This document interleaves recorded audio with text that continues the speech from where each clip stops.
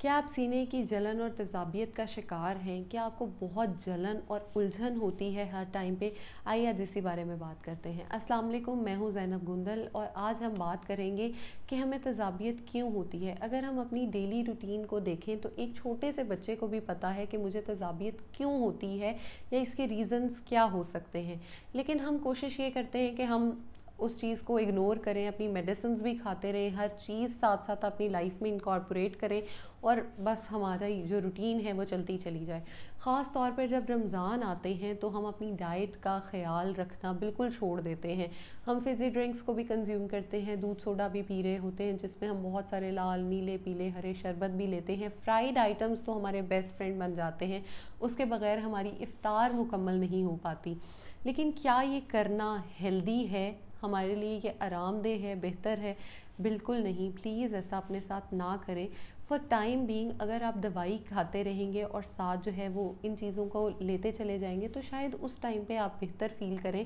लेकिन ये long run के लिए ये चीज़ हमारे लिए अच्छी नहीं है। हमारी ज़िंदगी दो चार दिन की तो है नहीं कि हमने आज कर लिया, सब कुछ ख़त्म कर दिया, ख़त्म। ऐसा नहीं होता। हमारी एक ही ज़िंदगी है, इसको हमने लॉन्ग रन में लेके चलना है, बेहतरी की तरफ़ लेके जाना है। तो उस बेहतरी को हम अपनी लाइफ में कैसे इनकॉर्पोरेट कर सकते हैं? सबसे पहली चीज़, एक चीज़ डिसाइड कर लें कि मैंने एक ही सर्कल में नहीं घूमते रहना, कि मैं तजाबियत का शिकार रहूँ, जलन होती रहे, सीना जलता रहे मेरा। बिल्कुल ये किसी को भी अच्छा नहीं लगता, या एसिडिटी हो जाए। ये चीज़ें हमें नहीं अच्छी लगती। तो सबसे पहले जो चीज़ें हमें एसिडिटी कॉज करती हैं, हम उनके बारे में बात कर लेते हैं।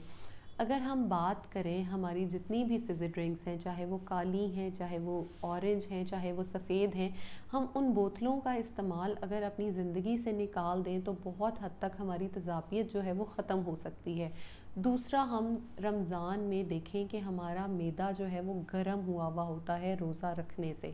जैसे ही इफ़ार होता है, हमने ठंडा पानी पास रखा हुआ होता है, ठंडा दूध सोडा पीते हैं, ठंडी बोतलें, ठंडे जूस हम फ़ौर से कंज्यूम करना शुरू कर देते हैं। वो उसी टाइम तो रिएक्शन नहीं देते, लेकिन ज़्यादा से ज़्यादा आधे पौने घंटे में वो अपना रिएक्शन देना शुरू कर देते हैं।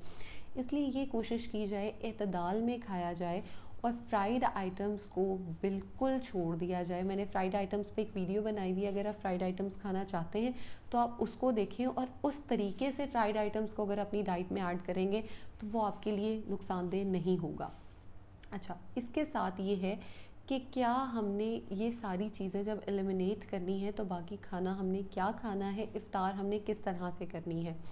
अपना इफ़ार एक खजूर से करें, उसके बाद एक बाउल जो है वो फ्रूट चाट का ले लें। अच्छा अब हमारे यहाँ बड़ा रिवाज है कि फ्रूट चाट का जो बाउल है, उसमें बहुत सारे स्पाइसेस चाट मसाले और पता नहीं क्या क्या हमने डाल के खाना है कि फ़्रूट का टेस्ट तो हमें आना ही नहीं है और जूसेस बाहर से डालने जब हम बाहर से जूस ऐड करते हैं तो हमारे वो फ्रूट का जो फ़ायदा हमें मिलना होता है, वो भी ख़त्म हो जाता है। अगर फ्रूट चाट ऐसे ही आपको पसंद है तो आप खाली फ्रूट काट के रख लें, एक सेब काट लें, खरबूजा ले लें थोड़ा सा थोड़े थोड़े पीसेस उसके काट के सीधा ही फ्रूट जैसे है, वैसे रख लें और एक फ़्रूट का उस टाइम पे मुकम्मल इस्तेमाल करें तो वो भी आपके लिए बेनिफिशियल है। फ्रूट चाट से बेहतर है कि आप ये फ्रूट खा लें। लेकिन अगर आप उसको स्पाइसेस के बगैर खा सकते हैं तो बिल्कुल आप फ्रूट चाट का एक बाउल लाजमी खा सकते हैं।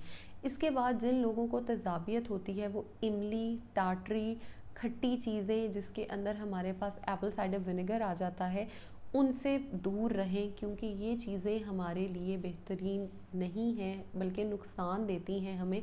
हमें इनको अवॉइड करने की कोशिश करनी चाहिए। उसके साथ अगर हम देखें, हमें शहर में अपने दूध को रिप्लेस करना चाहिए दही या लस्सी के साथ। दही नेचुरल प्रोबायोटिक है जो हमारे स्टमक के लिए, हमारे गट हेल्थ के लिए, हमारे इम्यून सिस्टम के लिए बहुत ही अच्छी है। अगर हम उसका इस्तेमाल करते हैं तो उससे हम अपनी हेल्थ को बेहतरीन कर लेते हैं। दूध अक्सर लोगों में तजाबियत कॉज करता है, इसलिए दूध को शहर में अवॉइड करें। लस्सी के इस्तेमाल में ना तो चीनी जाएगी, ना ही नमक जाएगा। चीनी और नमक दोनों को अवॉइड करें। खाली दही ले लें, दही नहीं ले सकते चम्मच के साथ तो उसके अंदर जो है आप पानी डाल लें। पानी भी नहीं अच्छा लगता, छिलके का इस्तेमाल कर लें। छिलके पे भी दिल नहीं करता तो तुम लंगे का इस्तेमाल दही में कर लें।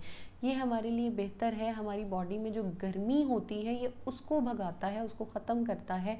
हमारी बोन हेल्थ को अच्छा करता है। हमारे लिए बहुत फ़ायदेमंद है इसके। फ़ायदे इतने ज़्यादा हैं कि हम सोच नहीं सकते। उसके बाद शहर में आपने जो हमने बहुत सालन तरी के साथ बनाया हुआ होता है, तड़के में सालन बनाए हुए होते हैं, उनका हमने इस्तेमाल बिल्कुल नहीं करना। कोशिश करनी चाहिए कि आम रूटीन में भी तड़के वाली चीज़ों का इस्तेमाल ना किया जाए, लेकिन शहर में तो बिल्कुल ना करें।